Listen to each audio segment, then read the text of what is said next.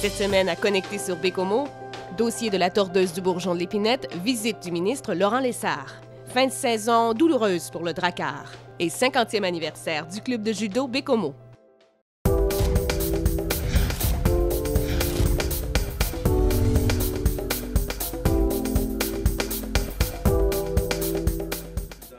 Dans le cadre de sa tournée des régions intitulée Faire plus, le ministre des Forêts, de la Faune et des Parcs était de passage à Bécomo le 24 avril.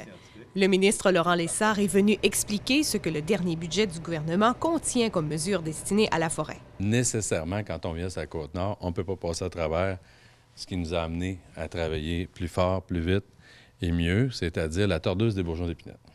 Dans le dossier de l'épidémie de la tordeuse du bourgeon d'épinette, le comité technique s'est rencontré une dizaine de fois depuis l'automne. Le ministère et les trois principales entreprises forestières de la région, Boissaco, Résolu et Arbec, ont pu établir le taux de mortalité des arbres. Des mesures ont déjà été mises en place. Il y avait une mesure à taux fixe, tarification fixe. Quand il y a de la maladie, une pièce et 60, exemple, ça fait la job. Je vais le récolter, ça rentre dans les coffre. Ils nous ont dit, peux-tu mettre aussi une, euh, tarification variable en, en, compte du degré de maladie? S'il est plus magané, il faut que tu m'en donnes plus. Donc, on a mis cette grille-là en place qui donne de la flexibilité. Après ça, ils nous ont demandé, on peut être plus performant? Ici, il y a du sapin, personne ne veut le sapin. Puis la formule avec des essences comme euh, du sapin qui est long à, faire sécher, la qualité souvent escarie. Euh, alors, on dit, on peut-tu le, le, mettre en copeaux en forêt? Donc, on a dit, on est d'accord. On va faire en plus une expérimentation si ce copeau-là donne une bonne recette pour donner de l'ouvrage à l'usine pour faire du meilleur papier. Une des demandes des industriels était de fixer les tarifs en fonction de la valeur des copeaux avant leur entrée dans l'usine. Alors, j'annonce aujourd'hui que je donne 50 000 ici, euh, au Centre d'expertise boréal, c'est ça? Donc, il va nous faire faire une étude sur la faisabilité de, de capable de quantifier la valeur du copeau à l'usine, puis ils seront tarifés en fonction de ça. Donc, j'annonce qu'il y aura rétroactivité à l'année 14-15 pour les mesures qu'on a mises en place. Le point de vue de l'industrie diffère. Après l'envoi d'une lettre au ministre au début avril, Boissaco, Arbec et Résolu sont unanimes. Les mécanismes mis en place sont encore insuffisants.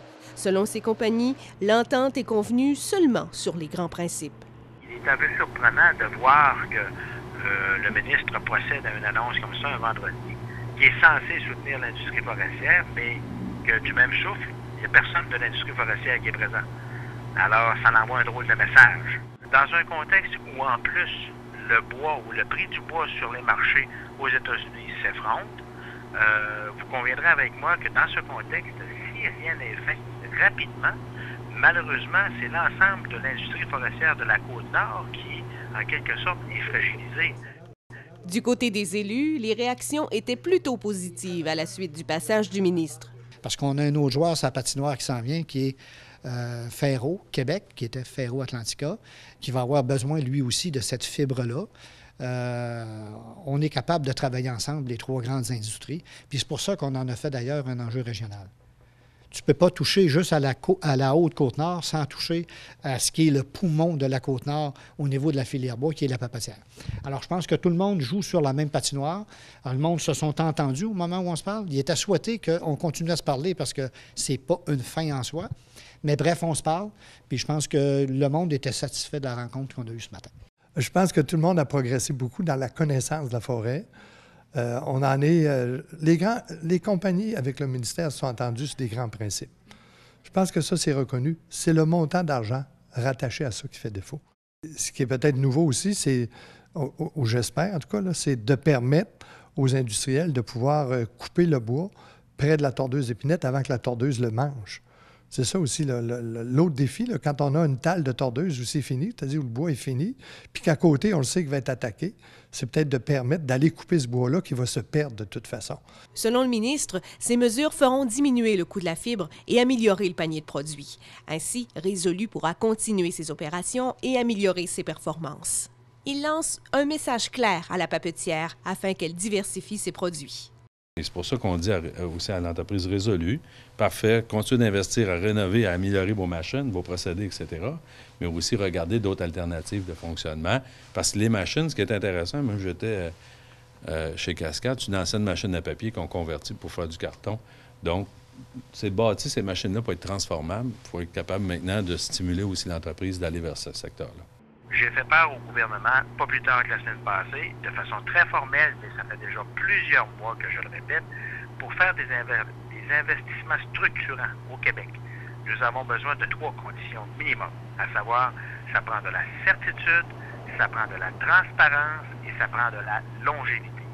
Malheureusement, actuellement au Québec, dans le contexte actuel, nous n'avons pas ces conditions-là pour être capables de justifier des investissements de plusieurs centaines de millions de dollars.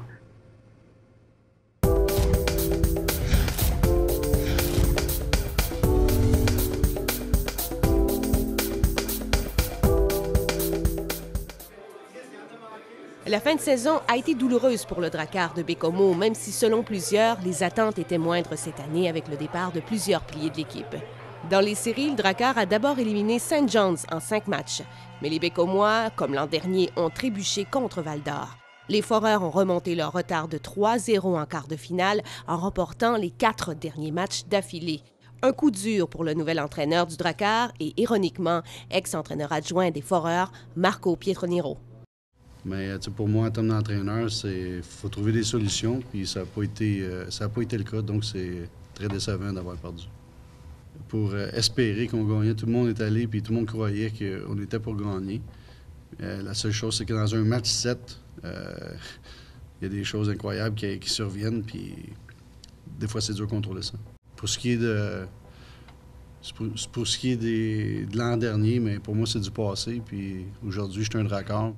À notre avis, euh, si on avait été un alignement complet euh, dans les séries éliminatoires, on aurait été en mesure de pouvoir euh, continuer assez aisément de, jouer, sauf qu'après le match 3, peut-être plus le match 4, on a eu des éléments clés qui ont été gravement atteints. Là, on avait des gars malades aussi.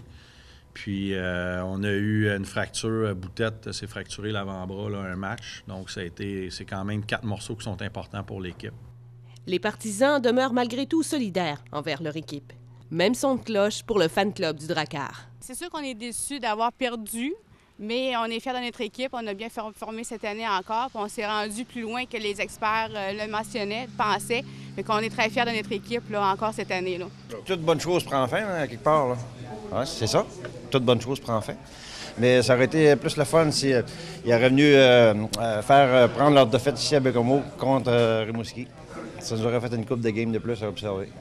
J'ai été déçu la fin de saison parce que de la manière ça a fini. Surtout qu'on avait l'avantage de, pris 3-0. Puis euh, la, dernière game ici, qu'on était à 3-0 après une période.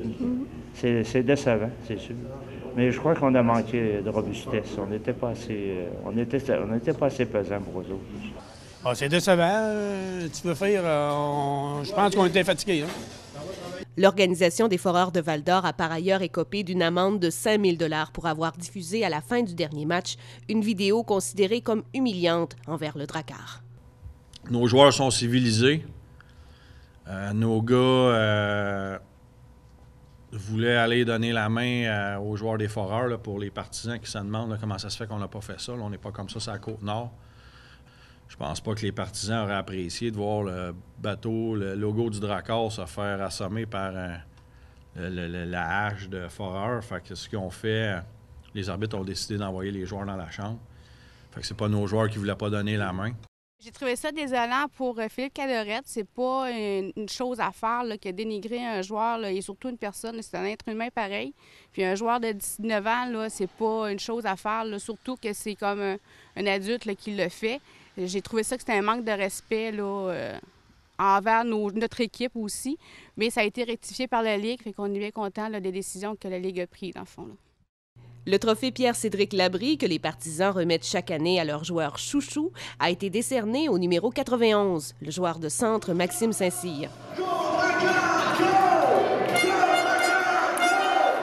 En moyenne, 2168 personnes ont assisté au match cette année, une baisse par rapport à l'an dernier, attribuable aux difficultés économiques de la région. Les organisateurs de l'équipe s'affairent déjà à préparer la 19e saison. Euh, c'est certain qu'on va avoir un travail à faire pour l'an prochain. La période de transaction des fêtes a été pour euh, bonifier l'équipe et en même temps donner une équipe compétitive. Je dirais que l'année prochaine, on va avoir des gars à chercher, le nombre exact. Euh, ça peut varier euh, pas mal, tout dépendamment comment les gars arrivent en forme. C'est sûr qu'il va falloir acheter de l'offensive.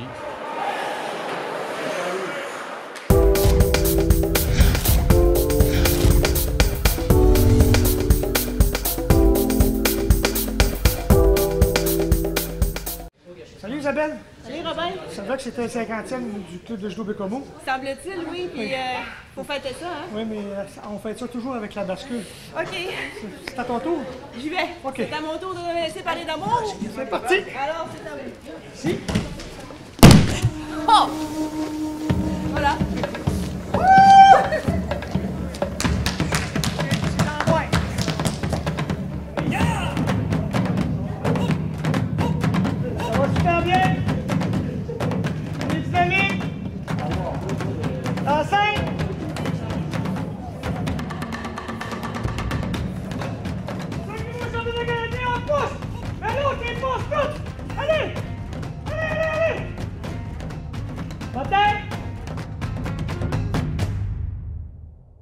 La philosophie du club de judo Bécomo? Le club de judo Bécomo, la philosophie, c'est euh, c'est un esprit de famille en premier. Parce que souvent, souvent, euh, les jeunes commencent à faire du judo.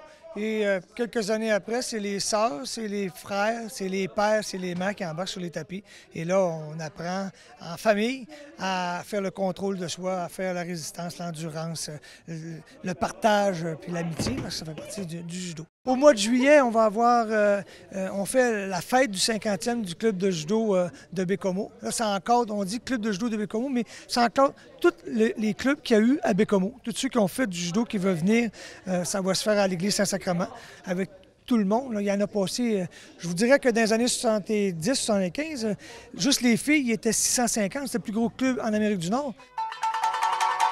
À 70 ans, Sensei Bertin Le Boutillier est implacable sur le tatami. Il a été témoin d'une grande partie de l'histoire du club. 70 ans, hein? Oui. L'avantage. Oh, Êtes-vous nostalgique un petit peu? Ah, ben oui, parce que c'est beaucoup de souvenirs. Et euh, moi, j'ai commencé en 1967. Le judo était déjà en force. Euh, ça a commencé autour de 64-65. Euh, à Haute-Rive, 64-65. Il y a M. Bélanger qui, était président de la GOC, qui voulait que les jeunes euh, soient bien guidés. Ça fait qu'il a promulgué le judo. Il n'en faisait pas lui-même. Et avec euh, M. Plourde et M. Louis Caillot, ça a commencé. Et à peu près en même temps aussi, ça a commencé à Bécomo avec Louis-Robert Doche. Le club de judo Bécomo, c'est 50 ans d'activité, de, compétiteurs, euh, de titres, de championnat canadien, de championnat national, international. Euh, on a des jeunes qui ont fait euh, toutes sortes de compétitions au niveau mondial. Là, je parle, moi, personnellement, mais du côté à Marquette, parce qu'avant, il y avait deux clubs, c'était la même chose. Les bons souvenirs que j'ai, principalement, moi, c'est j'ai continué à faire du judo parce que c'est une grande famille, dans le fond. On connaît beaucoup de monde et euh, c'est un milieu social que moi, j'adore. Si on veut rester jeune, c'est de rester avec les jeunes.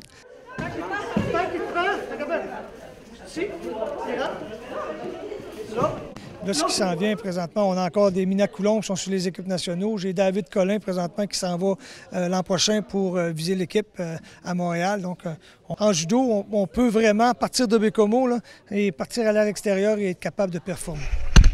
Cette année, 165 judokas étaient inscrits au club de judo Bécomo. En cette fin de saison et à l'approche des championnats canadiens, ceux qui vont passer leur grade s'entraînent toujours et certains sont ici cinq soirs par semaine. Question euh, de bien souligner ce 50e euh, dans notre reportage, ben, j'ai eu l'honneur de me faire projeter par Sensei Le Boutillier. Et ça s'est passé comme ça.